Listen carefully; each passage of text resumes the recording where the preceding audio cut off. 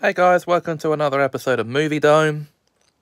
It's first impression time once again. This time for Disney's 1977 animated classic, The Rescuers, which I watched for the first time a while back. It's about two mice who are sent out to help rescue an orphan girl named Penny.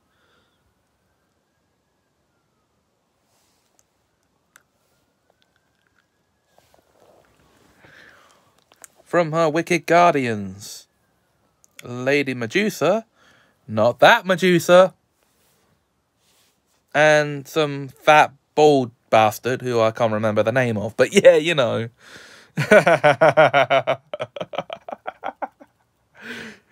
um, so they go on quite the adventure to try and rescue this this young this poor little girl.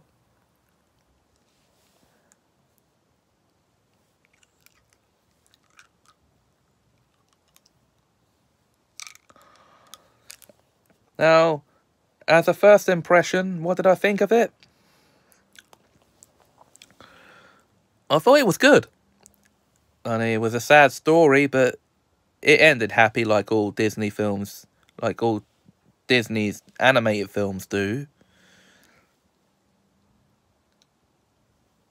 But still, it was a good film. And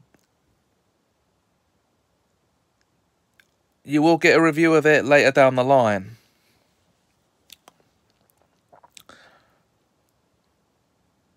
But this is just what I initially thought of the film. So, okay, guys.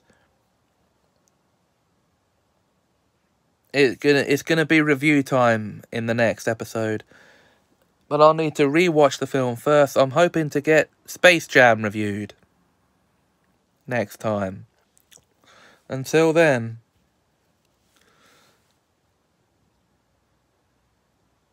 thanks for watching, and I'm going to cut the camera.